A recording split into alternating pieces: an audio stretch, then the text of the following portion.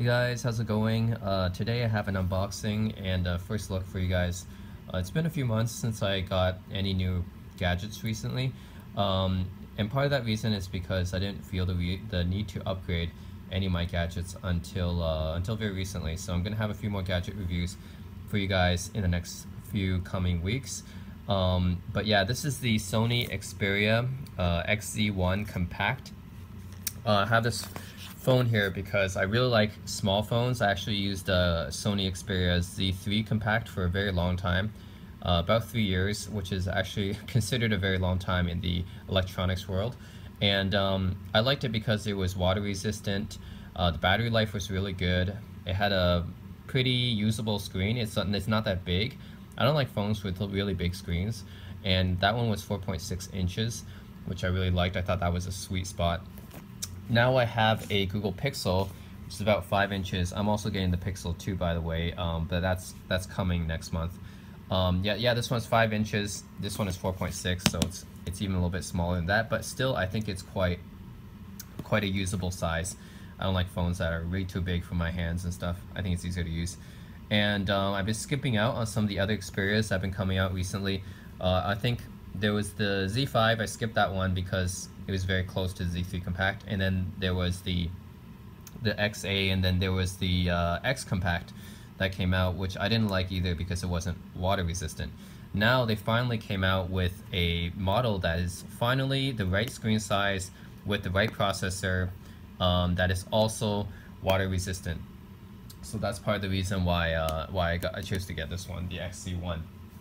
Alright, so we're finally ready to look at the Xperia XZ1 Compact.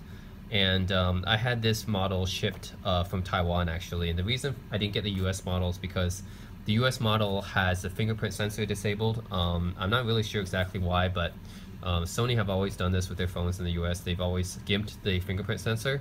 I have a feeling it's because of some patent violation or something in the US but anyways that's why I always order the Xperia phones internationally and this phone is probably going to replace my Walkman actually because the Xperia phones basically have the same capabilities of the Walkman except they're also a phone so you can install apps and stuff. Obviously they do a lot more. So it's probably going to replace my Walkman now. Okay so here's what's inside the box. Um, something in Chinese because this is the Taiwanese version. Something in Chinese um, Xperia Lounge yeah blah blah blah some apps here. Okay I got the blue version which is actually kind of a teal teal colored one. Um, this is what it looks like uh, let's see. Okay. I'll give you guys the, the spec rundown on this. Okay guys, the spec rundown on the Sony Xperia XZ1 Compact is as 32 gigs of internal storage, 4 gigs of RAM, uh, which is quite a bit um, for a mid-range phone. It's got a Qualcomm Snapdragon 835 processor, which I believe is actually the same as the upscale um, XZ1. Uh, so the compact does not lose any power at all. It has the same amount of power as the flagship and it has micro SD, of course, um, 19 megapixel f2.0 camera, um, has all that good stuff, face detection, autofocus, uh, 8 megapixel secondary camera. So I guess this is a 19 megapixel back camera, and um, yeah, quite a big upgrade, an 8 megapixel front uh, front camera, so that's a pretty big upgrade from my Z3 Compact. The camera on the back is actually downgraded megapixel from my Z3 Compact, but I'm sure they improved the the technology and the sensors inside it, so I'm sure it's actually a lot better. Because the the camera, the back camera of my Z3 Compact was 21 megapixels, but it was it was crappy. So uh, I guess megapixels don't mean everything, right? Um, but yeah, look at look how small this phone is, right? I love the size of this phone. It's great. Um, compare it to the size of my Pixel here, which is also not a very big phone, actually. Compare, you can see that. Well, actually, I have a case on my Pixel, but the XZ1 Compact, marginally smaller, uh, but it is smaller. Yeah. Well, the Pixel's not that big in the first place, I guess, compared to uh, the Pixel XL, the Samsung Galaxy Note, etc. Still fairly small phone, but the XZ1 is still a little bit smaller than that, although still not as small as my iPhone SE. iPhone SE is still probably the smallest. Um, but yeah, it looks pretty good. Uh, it's got the um, a flash on the back. I don't think, is that a dual? Is that a tone sensor here? Uh, maybe they got that from the uh, iPhone as well, the dual tone sensor. It's pretty cool. Uh, but yeah, this is a dedicated camera button, which I really like. Volume buttons right here. Power button, which is also a fingerprint sensor on the side. That's a very good place to put the fingerprint sensor. Again, not sure why that's not available in the US. Micro SD card slot is right here. Actually comes right out. I like this a lot better than the Z3 Compact, which was like a little flap that could just come off at any time. This one, you actually just stick it in and then you know that you don't, it doesn't really come off that easily. USB-C port, charge it, very modern. Okay, so um, fingerprint sensor, right? Okay, there, logged in. And you get the typical Sony interface. By the way, great thing about Xperia phones, you can have PlayStation uh, Remote Play. So I have a PS4 and stuff, you can always use Remote Play. And um, I'm gonna download that later. But um, yeah, you can also use it to play. You remote remote stream your PS4 to it, which is awesome. And then you have Walkman app, which is now just known as the music app, but uh, Sony has their proprietary Walkman app. They also have the same technologies. If you go in here, you see go to sound and audio settings, and they have all these same features as Walkman phones. The DSE HX, you can upgrade the quality compressed music, clear audio, um, have um, equalizer settings and everything. So basically this can base this can replace my Walkman uh, since it has all the same features as my Walkman um, as well as being a phone. Of course the battery life is not going to be as good as my Walkman and um, it's not going to be as compact. You can see here the size of the Walkman is still a lot smaller uh, but if I'm going to be using this phone for other things then it might as well just be a, my main music player as well. Right? both have my one micro SD card slot. The fact I don't have to use proprietary charger, I use a USB-C charger for this which is great. Um, because USB-C is more universal, you know.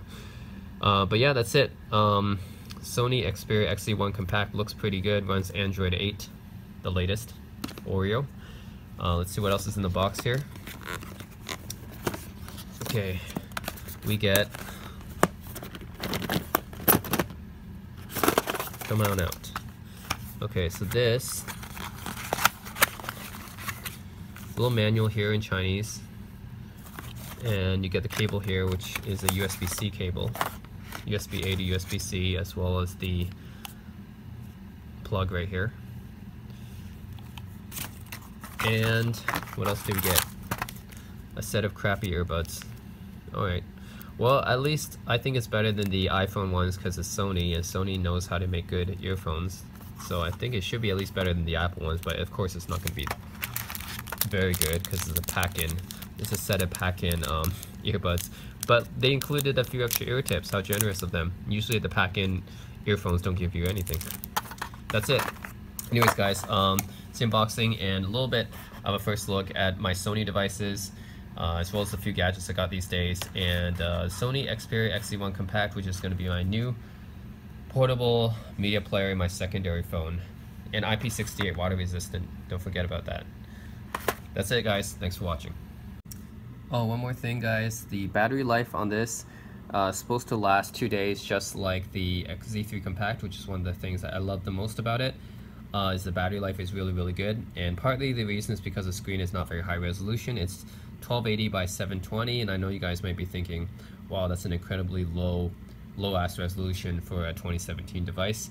Um, but it's to help the battery life and well this is not really a flagship phone so it's meant to be a secondary phone mid-range phone so yeah I guess uh, as my secondary device um, I don't really care about that that much. But if you're expecting like really high pixel density this is probably not the phone for you.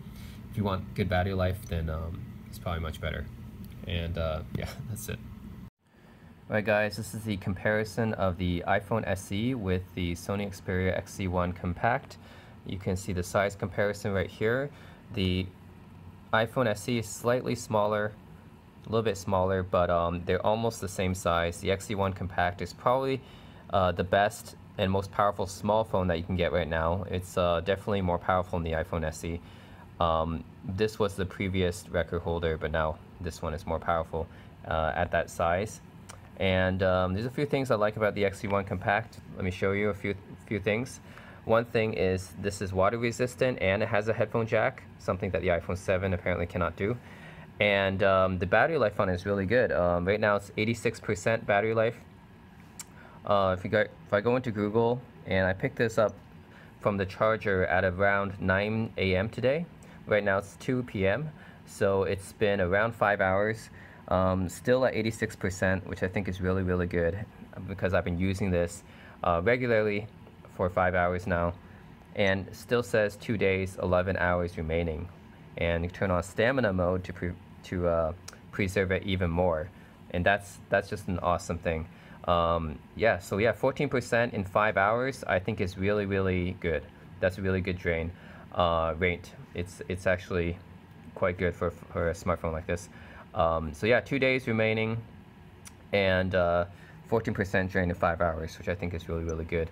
Uh, another thing is the stereo speakers here, uh, quite impressive. Let's play something here from YouTube, show you guys what this is about. And let's compare it to the iPhone here. Okay, so let's play it from the same spot. You can see this is the iPhone SE speakers right here at full volume.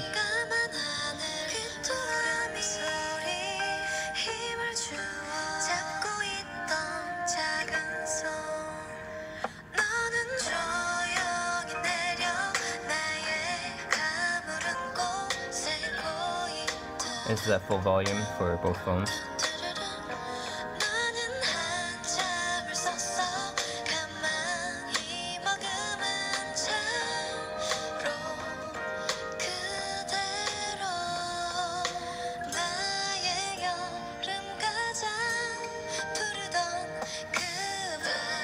Okay, now let's look at the Xperia. And you can see how much louder this phone is than this one.